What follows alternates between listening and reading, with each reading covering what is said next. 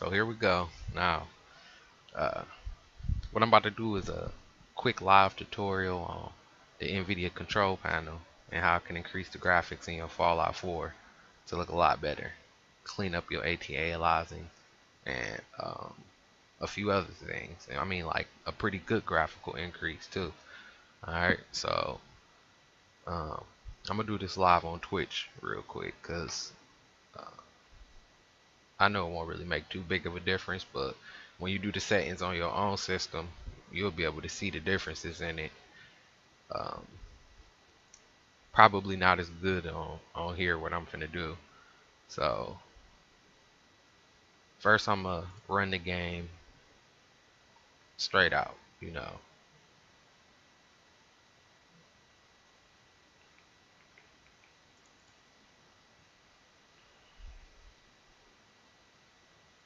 Course, before you before you do this, you want to go into your Fallout 4 options and uh, max out your game, or you know whatever the situation may be. Maybe it ain't maxed out, or you know you just want to get your settings max for your system. Okay, so the first thing you notice when you when you start this game, all right. I mean when you get to this loading screen, which I haven't even started the game yet because this was too disturbing. It just bothered me too much with all of the shaky anti-aliasing in it. You know, it's like a lot of off shadowing too. If you're looking at the bobblehead and the guns on the wall, there's just stuff in there that you know the game look good or not. That, that kind of stuff ain't really what you want.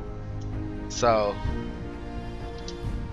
uh, after doing some tinkering, I found out a few uh, quick ways to make it look a lot better. So, um, what you want to do is use this screen. This is the only screen I've ever seen. See no load because I ain't start the game yet. I, I, had to stop right here and just get it together. So, um, now I'm gonna quit out of here. Just wanted to run it so you could get an idea. Oh, the magazine's another good point to look at when you look at the edges and on the corners of the magazines. That give you a good idea too of where you stand as far as the graphical settings go. Alright, so you want to quit out. Let's get out of there. Let's get to the NVIDIA control panel part of it. Which I'm sure that's probably what everybody go with anyway. Maybe I just skipped to that part in the first place. Bump it. This live tutorial. Live tutorial. Alright. It's gonna be messed up. Alright, so but alright, here we go to this NVIDIA control panel. Let's get her open.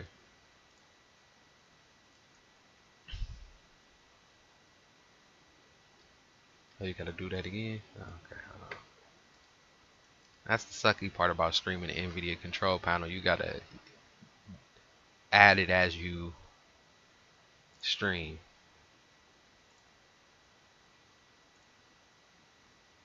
So sorry about that, but hold on, I'm just gonna get to it. Um,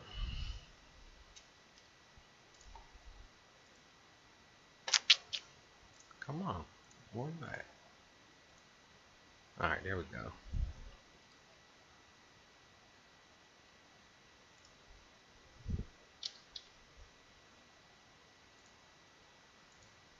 Okay. Now, in this NVIDIA control panel, let's try to make it so you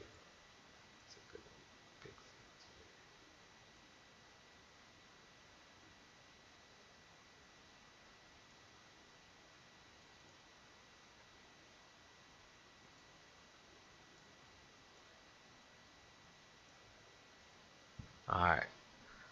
Now, in the NVIDIA control panel settings, what you want to do, alright, we're to start with the basics.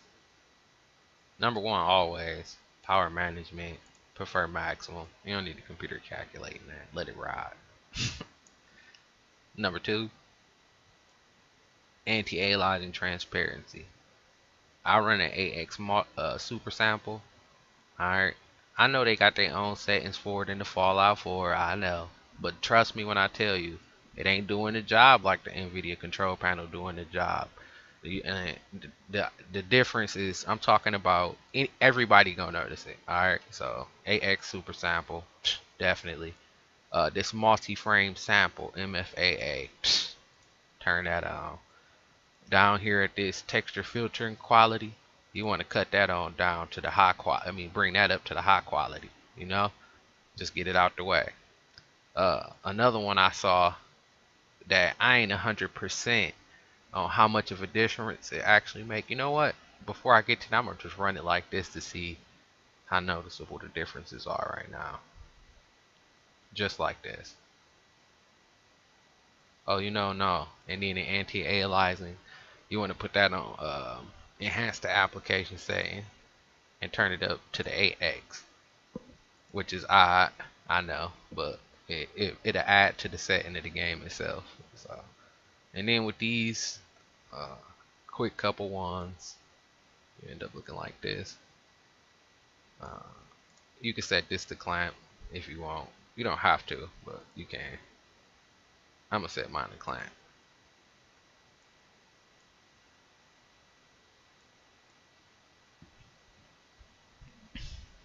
Okay, so that's the NVIDIA control panel part right there. So now I'm gonna run it again. Run it again here. You should be able to see the difference.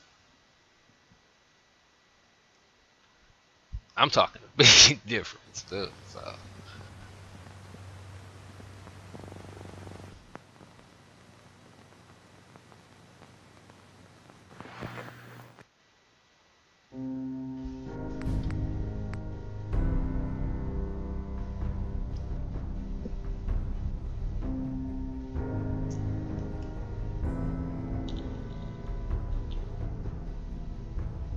So, now when you do get it kicked back up, the first thing you'll notice is along the edges of the helmet, it ain't as bad. You'll also notice that on the bobblehead and the guns, it's less of the shake of the anti-aliasing on the bottom of the guns, and on the bobblehead's uh, lighting on his face, it's more uh, distinct. And then as far as his um,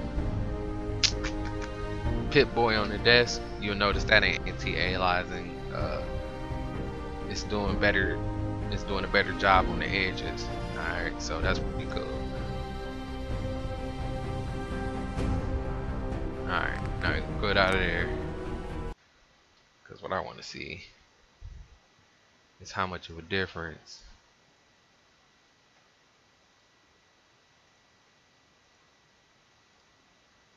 actually make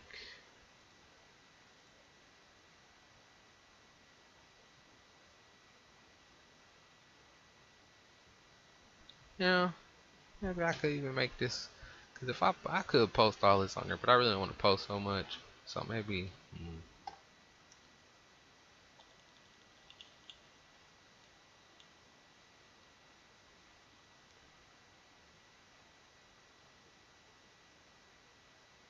Let me make a judgment call on this. I'm gonna stop it